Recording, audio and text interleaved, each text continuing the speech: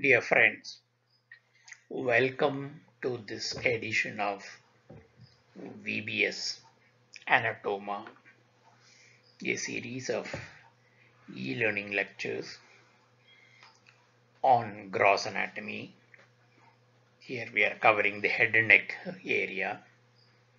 Today's topic is thyroid gland part 2. Now, we have covered a little bit of the thyroid introductory aspects in part 1, particularly the parts, surfaces, borders, surface marking, etc. Now we are going to cover the um, other two major areas, namely relations and blood supply. It is this uh, video is accompanied at the end by a set of image-based MCQs and an answer key. Once again, reminding you of the color code. There are two color codes. Script in black with a light gray background. All those labels are must to know items. Nice to know labels are scripted in white and the background is black. Now let's go straight to the relations. Remember this is a video number two. It is a continuation of the previous video. Let's look at a clinical scenario. A thyroid surgery is going on. Some condition for which intervention, surgical intervention is required. The surgeon uh, is uh, trying to isolate the recurrent laryngeal nerve. Watch my words carefully. Recurrent laryngeal nerve. This nerve is easy to identify because it is uh, plastered in this groove between the trachea and the esophagus. Whatever it is, in the process of identifying, he is trying to isolate the nerve end to end so that it is not caught uh, while a, a procedure is being done on the thyroid, maybe thyroidectomy or some thyroid partial removal, whatever. As he is doing, watch carefully, as he is doing, the number of blood vessels in the immediate vicinity, inadvertently, it gets cut, one vessel gets cut. The question is, he is in the close vicinity of the recurrent laryngeal nerve. Which artery has been cut? Now, to understand this, we need to understand the relations and the blood supply of the thyroid gland. We'll, we'll get back to the answer uh, at the end of the video. Now, the anterolateral surface although the gland is reasonably um, to the surface close to the surface the strap muscles cover the lobes anterolateral surface we have seen this in the previous video but let's recapitulate. These are the strap muscles. Sternohyoid thyrohyoid sternothyroid. And this one is not a strap muscle cricothyroid. I must emphasize this is visible in this area so i have added it. It's uh, seen immediately above the isthmus uh, it's attached to the cricoid cartilage. So i have mentioned it. It's more a intrinsic muscle of the larynx. So except the cricothyroid all the others are um, strap muscles. Next. Here is the left lateral view of the thyroid gland and its immediate structures. You can see that the thyroid rests, the isthmus is resting on the trachea covering roughly the third, fourth and the fifth tracheal rings. So the trachea itself is a posterior relation. Let me make a point here. The relations I'm, I am covering is not as uh, typical as given in a textbook. The focus here is every slide, whatever dissection material is seen, I am trying to identify as many relationship uh, relations uh, of this uh, gland as possible. Next, also immediately behind the lobe of the thyroid gland, immediately behind the lobes, is the common carotid artery. You can see the huge size of the artery. You can see that uh, at the level of the uh, thyroid cartilage, it divides into an external carotid and an internal carotid artery. Next, this is right side uh, lateral view you can see the same common carotid on the right side. Next, more lateral to it, of course, this is a dissection. Uh, we have pushed the internal jugular laterally, uh, but in the uh, intact in situ condition, the internal jugular is closely plastered to the uh, carotid or uh, to the carotid, and uh, it is also covered with the carotid sheath. You can also notice that a third item is there within the carotid sheath, the vagus nerve. That means the common, the carotid at its bifurcation. That means the carotid, the external carotid, that one, and the internal jugular and the vagus are the three contents within the carotid sheath. Next, you can see the uh, external carotid and uh, more deeper is uh, the internal carotid that's the superior thyroid branch of the external carotid. And in, in context, you, you can see the brachiocephalic trunk uh, uh, from which the uh, right common carotid and the subclavian, right subclavian uh, bifurcate. And they come out as two branches. Next, the recurrent laryngeal nerve is very typically seen. I, I started this with the clinical case scenario. You can see very well seen the recurrent laryngeal nerve. You can also see the trachea and the esophagus. The esophagus, the brown muscle of the esophagus forms an excellent backdrop for identification of the um, recurrent laryngeal nerve and that is the inferior thyroid artery. So therefore these two, the inferior thyroid and the recurrent laryngeal, they are in close vicinity. More importantly, uh, in contrast to the superior thyroid, the inferior thyroid divides into several branches and these branches enter the uh, thyroid gland. As a result, as you trace the recurrent laryngeal nerve superiorly, the nerve gets entangled in a mesh of uh, branches of the internal uh, thyroid artery. You know, this is uh, important surgically. We will come to that a little later. Next, also notice that uh, behind all this is the scalenus anterior muscle. Particularly running on the top of it is the uh, phrenic nerve. See, that's the phrenic nerve. Next, the external laryngeal is also seen um, uh, in the uh, upper part of this uh, photograph. Next, concentrate on that uh, dotted oval area, the red, white uh, dotted area. From our previous discussion, we know that's the inferior thyroid artery. See the tortuosity, that is one thing. And second, it has a lot of branches and these are the ones which reach the gland, although in the dissection we have removed them. You can also see that's the recurrent laryngeal nerve there. Next, as I pointed out earlier, the esophagus uh, forms an excellent brown backdrop to identify the recurrent laryngeal nerve.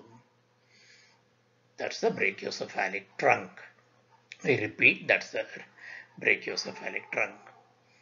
Now, once the scalenus anterior is identified, we can also identify the cords of the brachial plexus. That means, you see, in the name of the uh, thyroid gland dissection and a discussion on its relations, we are virtually covering all the structures in its vicinity, although only a few are directly in immediate relation to the thyroid gland. That's an advantage of having a dissection material uh, in, a, in a prosection uh, lecture. Next, this is um, uh, once again right anterolateral view. You can see the cut section of the right common carotid artery. Now, when you when you look at the branches, dissect out the branches of the inferior thyroid, on a more deeper plane, when you clean up the structures, you are, going, you are likely to encounter another important uh, blood vessel, namely the vertebral artery. See, the artery has been cut at its origin from the subclavian.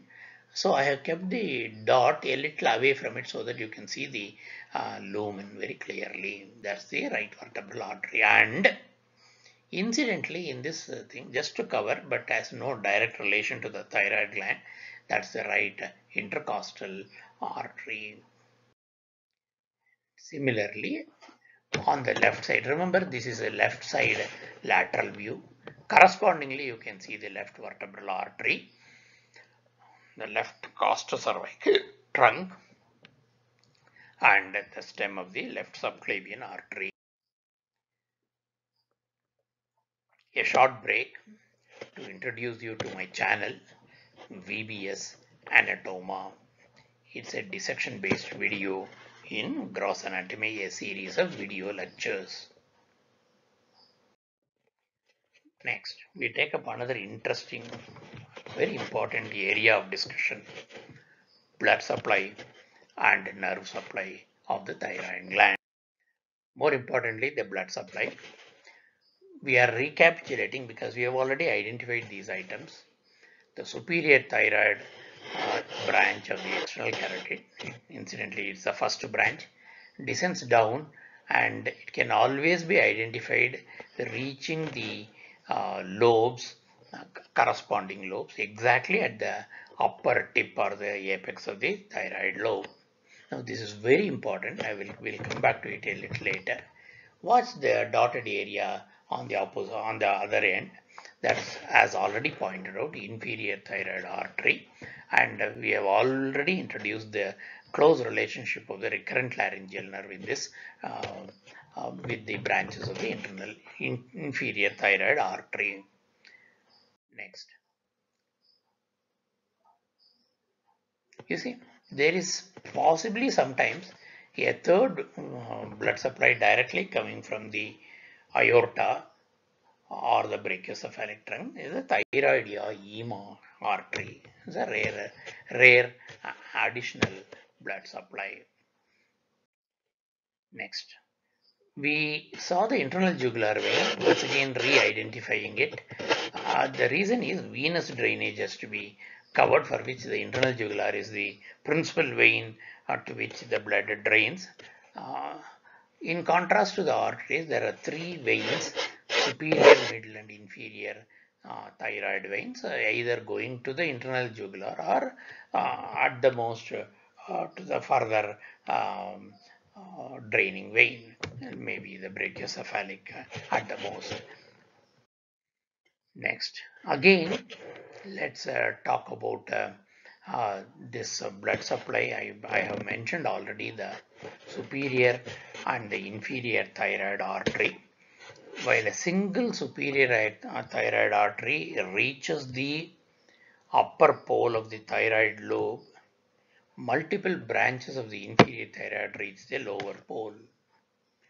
This contrast is very interesting because these branches, in these branches is intertwined the recurrent laryngeal. Therefore, therefore in the event uh, that you need to remove the thyroid gland, it is much easier to handle the superior thyroid artery because it can be clamped as it enters the upper pole of the thyroid gland because at that point it is reasonably away from the external laryngeal nerve.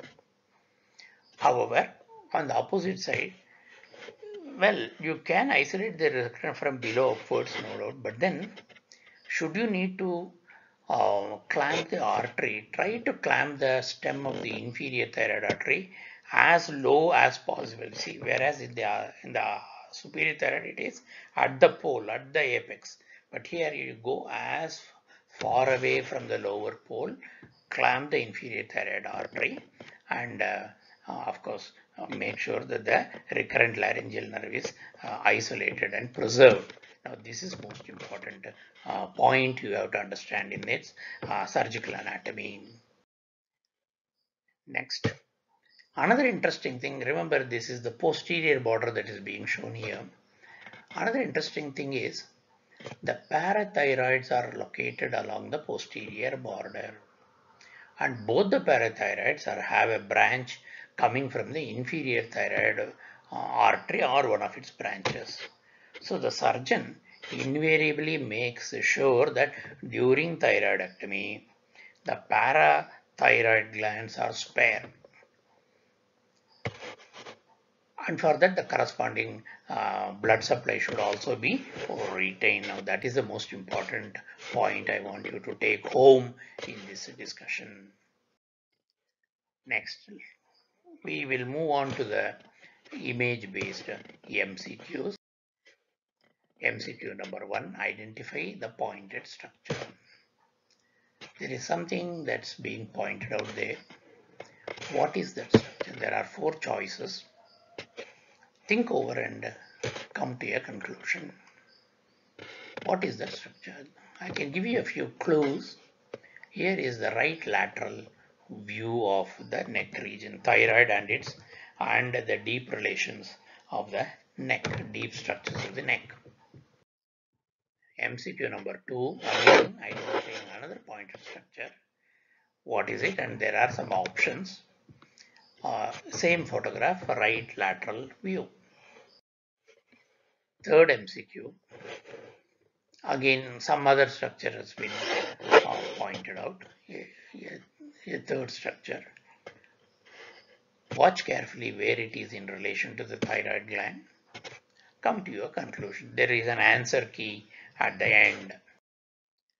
Now here there is one more structure being pointed out. From the list given it looks like all are all the choices are arteries. So we can as well say which artery is this. You can think of which artery it is. Next MCQ, this is the last MCQ.